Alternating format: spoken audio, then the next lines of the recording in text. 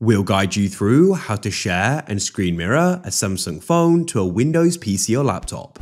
If you find this useful, then please consider subscribing and liking the video. This is really convenient to do as your phone screen will then be on your computer screen and you can see it much larger.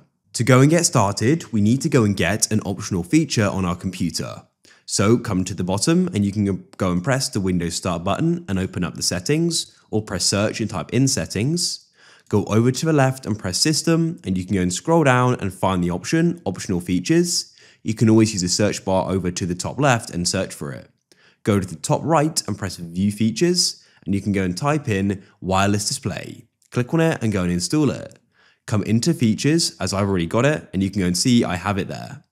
Then what you want to do is come over to the left into find a setting and you can type in projecting to this PC or press system and you can scroll down and go and find it and click on it. Then you can press launch the wireless display app to project. So now what we can do is come onto our phone. Go and unlock it and what you need to do is go and swipe down like so from the top and then you can go and drag down again and go and find the option for smart view and you want to go and tap there and this screen will go and open up. Now what you need to do is go and wait for your computer to go and appear and you can then go and tap on it. And just like so, my Samsung phone screen is now on my computer. It's that simple and we can start using it on there and seeing it much bigger.